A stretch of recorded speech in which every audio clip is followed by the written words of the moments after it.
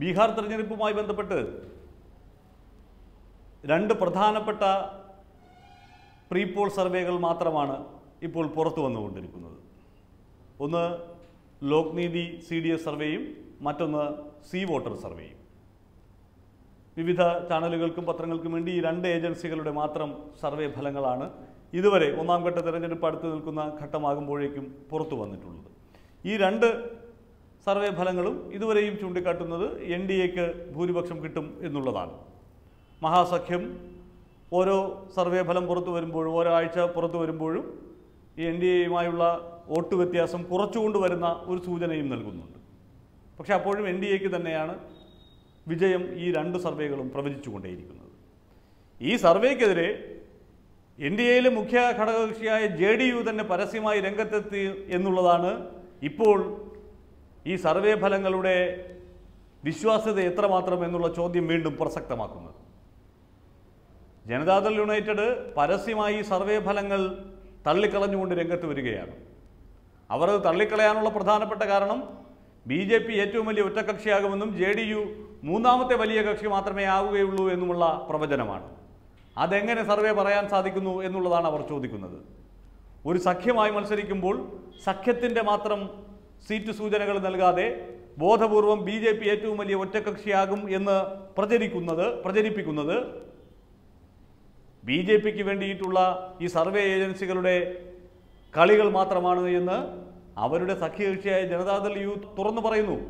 അവിടെ എത്ര സീറ്റ് കിട്ടിയാലും ജനതാദൾ യു ആയിരിക്കും എൻ ഡി എ സഖ്യം അധികാരത്തിൽ വന്നാൽ നിതീഷ് ആയിരിക്കും മുഖ്യമന്ത്രി എന്നുള്ള കാര്യം ഇതിനകം തന്നെ ബി ജെ പി നേതാക്കളൊക്കെ പ്രഖ്യാപിച്ചു കഴിഞ്ഞതാണ്.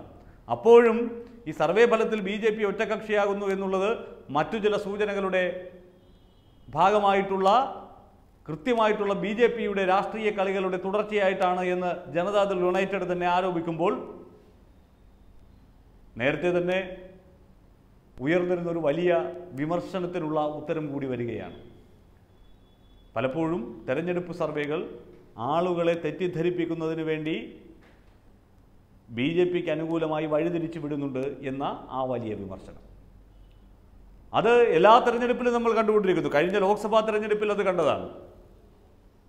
അതിനുശേഷം ഡൽഹി തെരഞ്ഞെടുപ്പിൽ പോലും അവിടെ ആം ആദ്മി പാർട്ടി ഒരു ക്ലീൻ സ്വീപ്പ് നടത്തിയ റിസൾട്ട് ഉണ്ടായ ആ തെരഞ്ഞെടുപ്പിൽ പോലും ബി ജെ പി മുപ്പത് സീറ്റ് വരെ പിടിക്കുമെന്ന് പ്രവചിച്ചവരുണ്ട് സർവേകളിൽ.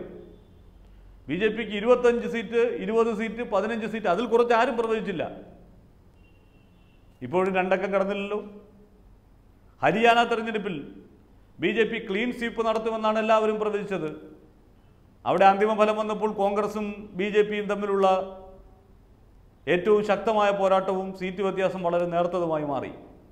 അവിടെ ചൗട്ടാലയുടെ പാർട്ടിയുമായി ചേർന്നിട്ടാണ് ബി ജെ പിക്ക് ഭരണം ഉറപ്പിക്കാനായത്. ബീഹാറിൽ രണ്ടായിരത്തി പതിനഞ്ചിലെ തെരഞ്ഞെടുപ്പിൽ ബി ജെ പി അധികാരത്തിൽ വരുമെന്നായിരുന്നു ഈ പറയുന്ന എല്ലാ സർവേകളും പ്രവചിച്ചത്. എന്നിട്ടെന്തായി? മഹാസഖ്യം അധികാരത്തിൽ വന്നു.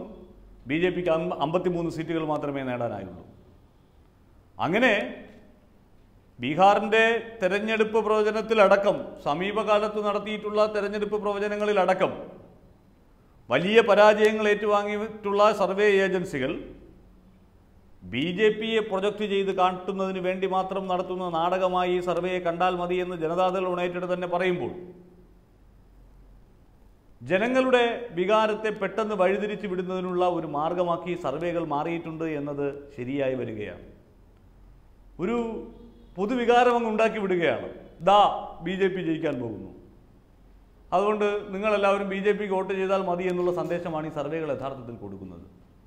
നേരത്തെയൊക്കെ ഈ തെരഞ്ഞെടുപ്പ് സർവേകളിൽ ഉണ്ടായിരുന്ന സൂക്ഷ്മമായ അപഗ്രഥനമൊക്കെ ഇപ്പോൾ ഇല്ലാതായിരിക്കുന്നു. യഥാർത്ഥത്തിൽ നമ്മുടെ ഈ സാങ്കേതിക വിദ്യയൊക്കെ വർദ്ധിച്ചു വരുന്ന ഒരു കാലഘട്ടത്തിൽ ഈ സർവേകളുടെ ആധികാരികതയും സർവേകളുടെ കൃത്യതയും കുറച്ചും കൂടി ഈ യഥാർത്ഥ ഫലത്തിനോട് ചേർന്ന് നിൽക്കേണ്ടതാണ്. പക്ഷെ അങ്ങനെ സംഭവിക്കുന്നില്ല. അവിടെയാണ് രസകരമായിട്ടുള്ള കാര്യം. ഈ കഴിഞ്ഞ ലോക്സഭാ തെരഞ്ഞെടുപ്പിന്റെ കാര്യം തന്നെ എടുക്കൂ. ഒരേ ഒരു സർവേ മാത്രമാണ്. അതും അത്രയൊന്നും പ്രശസ്തമല്ലാത്ത ഒരു സർവേ ഏജൻസി. അവർ മാത്രമാണ് കൃത്യമായ പ്രവചനം നടത്തിയത്. ബാക്കിയുള്ളവരൊക്കെ എൻ ഡി എ അധികാരത്തിൽ വരും എന്ന് പറഞ്ഞിരുന്നുവെങ്കിൽ പോലും യഥാർത്ഥ റിസൾട്ടുമായി വലിയ വ്യത്യാസം മാർജിനൽ എറർ വലിയ തോതിലുള്ള വിശകലനങ്ങളും സർവേ ഫലങ്ങളുമാണ് പുറത്തുവിട്ടിരുന്നത്. അവിടെയാണ് ഈ സർവേ ഫലങ്ങൾ രാഷ്ട്രീയ പാർട്ടികൾക്ക് വേണ്ടി മാറ്റി എഴുതപ്പെടുന്നുണ്ടോ എന്നുള്ള സംശയം ബലപ്പെടുന്നതും അത് ബലപ്പെടുത്തുന്ന രീതിയിലുള്ള ഒരു നിലപാട് ഇപ്പോൾ ജനതാദൾ യുണൈറ്റഡ് തന്നെ പ്രഖ്യാപിക്കുന്നത്.